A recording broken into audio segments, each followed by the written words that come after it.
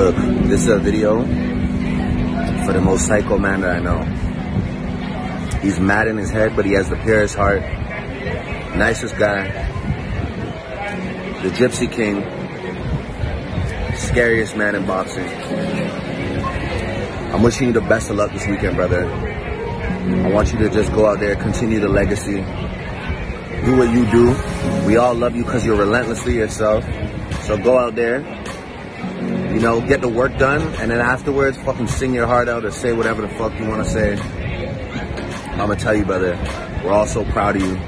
We love you. I appreciate you always staying in contact with me. You know, I appreciate the encouragement, the inspiration. And yeah, man, I'm looking forward to seeing the end result this weekend. Wishing you the best, always. I'll see you on the other side. Fuck them.